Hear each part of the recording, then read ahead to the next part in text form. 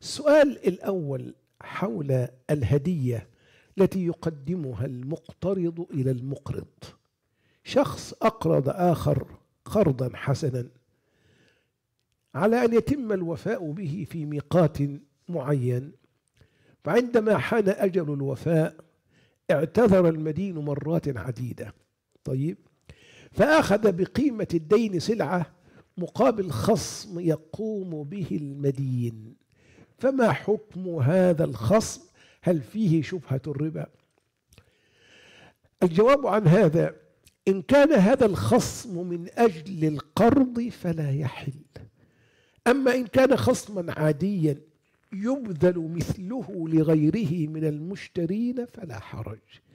لا ينبغي للمقترض أن يهدي للدائن رجاء أن يؤخره بدينه ويحرم على الدائن قبول الهدية.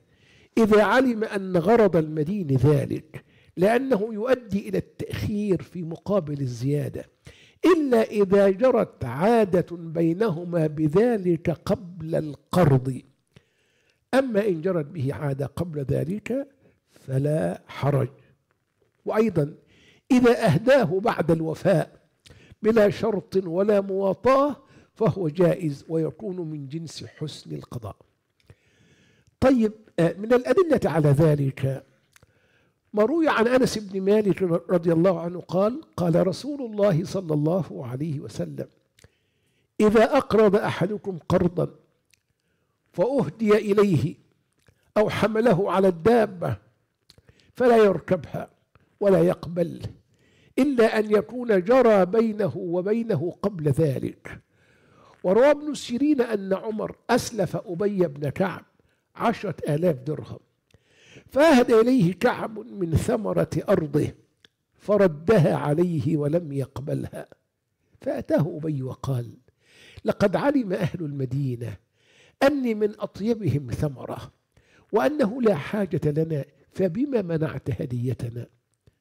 ثم أهدى إليه بعد ذلك فقبل. ابن القيم يقول كان رد عمر لما توهم أن تكون هديته بسبب القرض. فلما تيقن أنها ليست بسبب القرض قبلها وهذا فصل النزاع في مسألة هدية المقترض. أيضا بما ورد عن عبد الله ابن سلام أنه قال لأبي بردة ابن أبي موسى الأشعري إنك في أرض الربا بها فاش إن كان لك على رجل حق فأهدى لك حملة ابن أو حمل شعير أو حمل قط. فإنه ربا. ابن القيم يقول وكل ذلك كان سدا لذريعة أخذ الزيادة في القرض الذي موجبه رد المثل.